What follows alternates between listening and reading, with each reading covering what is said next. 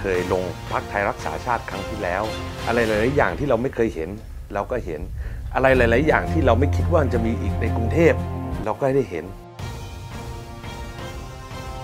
ตอนนั้นเนี่ยมันมีเกิดช่วงปฏิวัติมา 4 ปี แล้วก็เห็นบรรยากาศการทำธุรกิจเองภาคเอกชนเอง หรือความเป็นอยู่ของพ่อแม่พี่น้องมันไม่ได้สดใสมันไม่ดีขึ้นนะ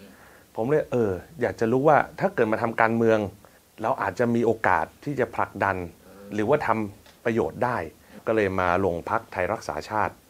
แต่อยู่ไม่ถึงวันเลือกตั้ง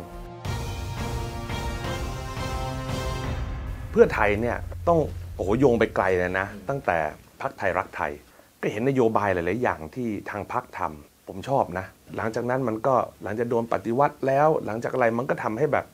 เออทำไมประเทศไทยมันยังอยู่ในวังวนอย่างนี้อยู่ แล้วก็ดูว่านโยบายหลาย ๆ อย่าง ตั้งแต่พักไทยรักไทยเอง ลังประชาชนเอง หรือเพื่อไทยเองเราเห็นนโยบายที่ออกไปมันทำได้จริง แล้วมันสื่อสารให้เราเข้าใจได้ แล้วรู้ว่าเฮ้ยเขาจะทำอะไรนะดิเรกชันจะเป็นยังไง ผมว่าอันเนี้ยเลยเป็นเสน่ห์ดีเอของทางพรรคเพื่อไทยที่ผมอยากจะเข้ามาร่วมงานด้วย ของผมเนี่ยศูนย์หลวงนะครับและประเวศเนี่ยผมมีแค่แขวงหนองบอนแขวงเดียว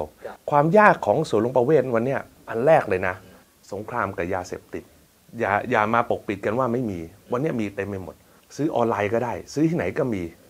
อันที่สองสาธารณสุขศูนย์หลวงเราเองเนี่ยมีคนแสนสองหมื่นกว่าคน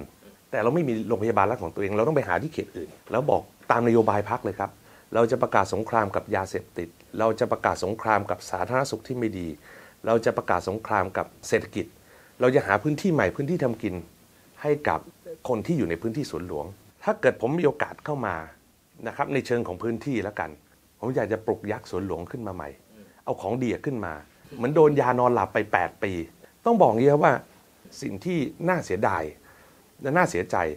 คือ 4 ปีที่แล้วที่ผมเคยมีโอกาสได้ลงสมัครครับผมไปทุกที่เนี่ยผมจะมี Data เก็บไว้หมด ว่าแต่ละที่อะต้องแก้ไขอะไร มีความต้องการอะไร 4 ปีนี้ลงไปใหม่แย่กว่าเดิมอีก เราก็คิดนะว่า ถ้าวันนั้นพักเราไม่โดนยุบ แล้วถ้าเกิดเรามีโอกาสได้เป็นสสเฮ้ยเราจะแก้ได้ไหมนั้นก็ผลักดันว่าครั้งนี้ยังไงก็ต้องทำให้ได้ เพื่ออยากจะรู้ซะว่าเราจะแก้ได้ไหม ปัญหาที่เกิดขึ้นมาพวกนี้ ก็ต้องเจ็บปวดอยู่แล้วนะ เพราะครั้งที่แล้วเนี่ยที่โดนยุบพักเนี่ยอ่าผมเดินไปทั้งหมดในครั้งที่แล้วเนี่ยผมจับตอนนั้นใช้ในกาที่มันจับ 9 เดือนอ่าสี่เดือนเดินไปหมด 900กว่ากิโล เดินทั้งวันตีห้าถึงสองทุ่มเดินทุกวัน ถามว่าโอเคมันเสียใจไหมมันเสียใจ แต่เราก็ต้องน้อมรับคำตัดสิน ก็หวังว่าครั้งนี้จะไม่มีเหตุการณ์นั้นเกิดขึ้นอีก4ปีข้างหน้าถ้าเกิดผมมีโอกาสนะครับ ที่จะรับใช้ ผมคิดว่าดีกว่า 8 ปีที่ผ่านมา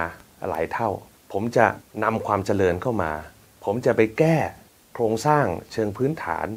ที่หมักหมมมานาน ผมเห็นว่า มันเป็นยังไง ผมเข้าใจปัญหาว่ามันคืออะไรบ้าง วิธีการแก้ปัญหาบางอย่างเนี่ย ถ้าเกิดตั้งใจที่จะแก้นะ ผมว่าแก้ไม่ยาก อยู่ที่ว่าตั้งใจจะแก้หรือเปล่า เลือกทั้งคนเลือกทั้งพักนะครับ เลือกให้แลนสไลด์ ผมว่า 4 ปีข้างหน้าจะเป็น 4 ปีที่ทางพักเพื่อไทย จะทำงานอย่างหนักให้กับพี่น้องคนไทยทุกคนครับ